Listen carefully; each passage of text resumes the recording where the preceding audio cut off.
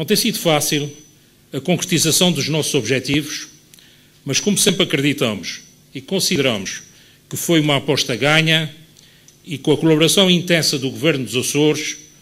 e de demais patrocinadores que acharam que este projeto visa colocar os Açores numa plataforma de grande visibilidade, onde claramente os dividendos promocionais são significativos pela força da parceria entre o Grupo Desportivo Comercial e o Eurosport. O Governo dos Açores tem considerado nos últimos anos o SATA Rally Açores como um dos eventos estratégicos promocionais do destino dos Açores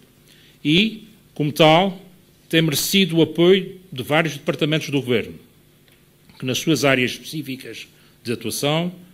têm apoiado o Rally de forma determinada e que tornam possível a realização desta prova automobilística de projeção mundial. A qualidade das nossas competitivas classificativas, bem como a beleza das nossas ilhas,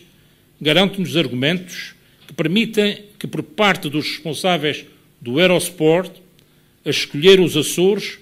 como um dos três ralis no mundo, com quatro horas de transmissão direto, live, pelo Aerosport, em horário nobre,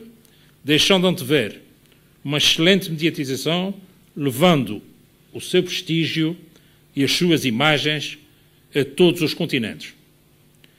Temos que agradecer ao Eurosport a cedência a título excepcional, friso, a título excepcional, das suas imagens para a retransmissão das mesmas na RTP2 e RTP Internacional, em direto. Uma grande aspiração do Grupo Desportivo Comercial a pedido dos nossos imigrantes dos Estados Unidos e do Canadá, principalmente.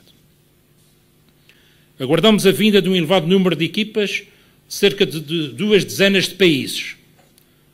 Esperamos superar os 14 países o ano passado que estiveram presentes nos Açores, às quais caberá, em última instância, a responsabilidade de proporcionar um espetáculo de primeira qualidade